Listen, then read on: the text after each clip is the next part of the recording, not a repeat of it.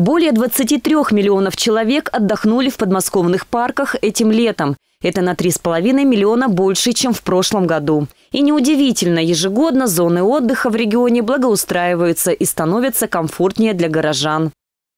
Задача, чтобы в каждом городском округе, в каждом небольшом населенном пункте был сквер или большой парк.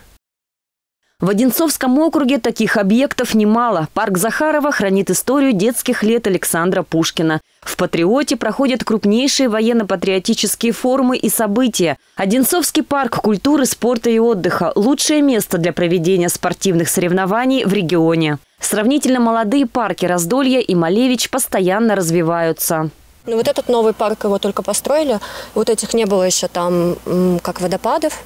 Как бы стало гораздо лучше, потому что раньше можно было только здесь по территории гулять. В этом году там построили водопады.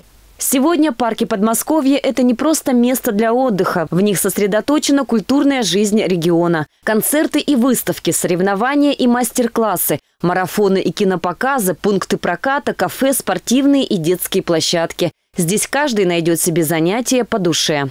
Полина Бахова, телекомпания «Одинцова».